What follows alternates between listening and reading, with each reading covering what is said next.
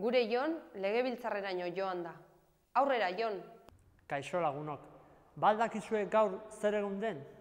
Ez, nik esango dizuet. Gaur legebiltzarrak hogeigarren urte hurrena ospatzen du.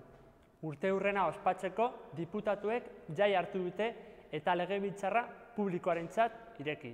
Eta ni, mirutegia telebistaren izenean, legebiltzarrera etorri naiz elkarrizketa bat egitera.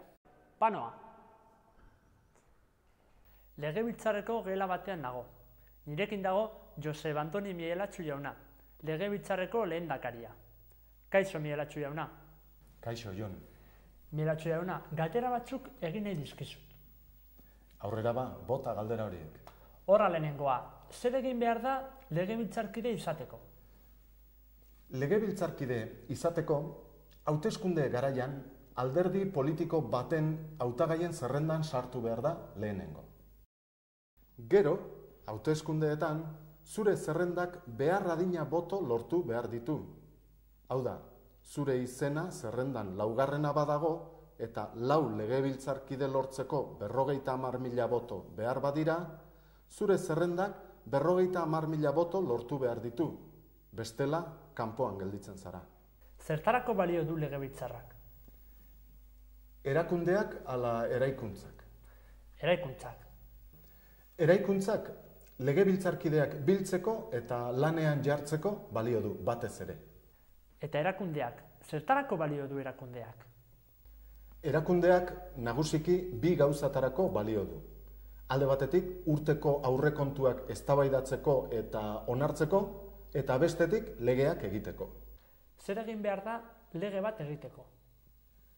Lege bat egiteko lehenengo proposamen bat formulatzen da. Gero, proposamen hori batzordearen aurrera eramaten da eztabaidatzeko. Batzordeak ez badu onartzen, ez errez. Baina onartzen badu, legebiltzarkideen aurrera eramaten da berriro eztabaidatzeko.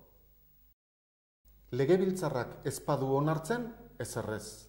Baina onartzen badu, lehendakariari eramaten zaio berresteko eta aldarrikatzeko. Ondoren, mundu guztiak ezagutzeko, Euskal Herriko agintaritzaren aldizkarian argitaratzen da. Aldizkarian jartzen du legea noiz sartzen den indarrean. Zertarako egiten dira legeak? Legea gizartearen antolamenduaren oinarria izan da beti. Herriaren ordezkariok promulgatzen dugu herriaren izenean. Beraz, legeak gizartea antolatzeko egiten dira gizakion artean elkarbizitza hobetzeko. Eskerrik asko milatxu jauna, azalpen horiek guztiak emanagatik. Eskerrik asko zuei aukera eman didazuelako. Bidal dezaket mezu bat? Baiakine, hor duzu kamera. Kaixo ama, gaur berandu joango naiz bazkaltzera, ez itxaron, lanpetuta nago. Horixe izan da nire mezua, eskerrik asko. Ez duzu eskerrak eman beharrik. Ikusentzuleok, hau izan da dena legebiltzarretik Jon Miru mirutegiaren txat. Eskerrik asko, Jon, eta zuk badakizu, semea berandu joango zaizu etxera, ez itxaron. Zure izena zerrendan laugarrena badago, eta lau legebiltzarkide lortzeko berrogeita hamar mila boto behar badira,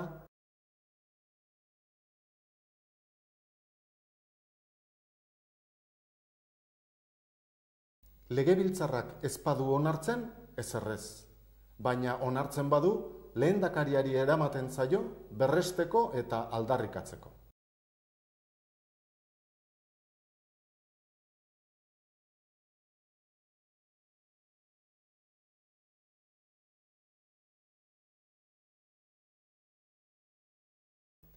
Eraikuntzak legebiltzarkideak biltzeko eta lanean jartzeko balio du batez ere.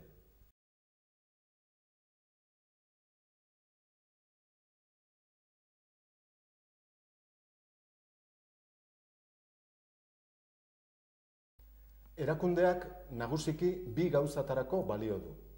Alde batetik urteko aurrekontuak eztabaidatzeko eta onartzeko eta bestetik legeak egiteko.